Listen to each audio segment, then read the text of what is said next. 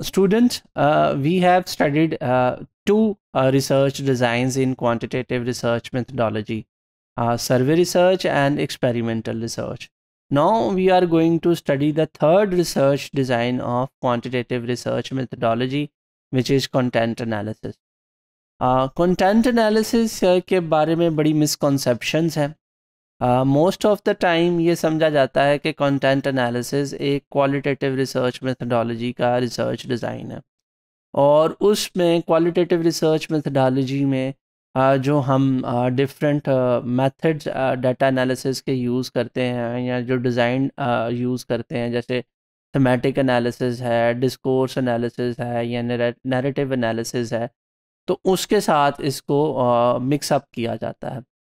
Content analysis जो है ये प्योरली uh, एक क्वांटिटेटिव रिसर्च डिज़ाइन है और इसको हम क्वांटिटेटिव रिसर्च में यूज़ करते हैं in a particular situation let's see what is content analysis content analysis में भी briefly defined as the systematic objective quantitative analysis of message characteristics so in content analysis we actually analyze the uh, uh, characteristics of the message, but with the uh, lens of the objectivity, and we do this analysis uh, systematically. Another definition of the content analysis is content analysis is a method of researching communication patterns. It can focus on words, subjects, and concepts in text or images. So, uh, whenever we do the content analysis, we can uh, locate the communication patterns in social media, in a conversation. And when we talk about the message, message may be in a word form or in a subjects, different characters, or some concepts in text or in images. Uh, content analysis have been applied to many areas in, of inquiry. ये different discipline में use होता है। सिर्फ़ sociology में नहीं gender studies में नहीं psychology में नहीं और भी बहुत सारी डिसिप्लिन में इसका आज यूज़ मौजूद है। uh, जैसे कि मैं आपको इसकी कुछ एग्जांपल देता हूँ कुछ स्टडीज़ की कि मर्कल ने 1998 में इसको यूज़ किया to see the naturally occurring languages फिर एक स्टडी है जो कि न्यूज़पेपर कवरेज के ऊपर हुई। फिर लेटर्स टू द एडिटर के ऊपर भी एक स्टडी हुई और फिर जो डिफरेंट जेंडर्स हैं ऑफ़ द करेक्टर्स वो कैसे पोर्ट्रे होती हैं टीवी पे, उस पर भी स्टडी हुई। इसकी और एग्जांपल में जो है तर्कश एलिमेंट्री स्कूल की मैथ बुक्स के ऊपर एक स्टडी अवेलेबल है।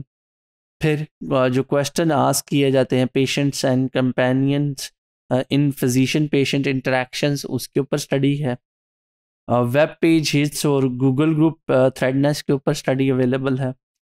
तो और emotional tone of social networking comments, उसके ऊपर स्टडी अवेलेबल है। और linguistic substance of the writings of a nineteen century explorer leading up to the suicide, इसके ऊपर भी एक स्टडी कंडक्ट की गई है। तो अगर हम कंटेंट एनालिसिस के यूजेस की बात करें तो it identify the intentions, focus और communication trends of an individual group और इंस्टीट्यूशन कंटेंट एनालिसिस यूज़ करते हुए हम आइडेंटिफाई uh, कर सकते हैं किसी पर्टिकुलर इंडिविजुअल और ग्रुप और इंस्टीट्यूशन के इंटेंशन के वो किस तरह के मैसेजेस यूज़ कर रहा है और उसका फोकस क्या है कम्युनिकेशन में it describes attitudinal and and response to the communications.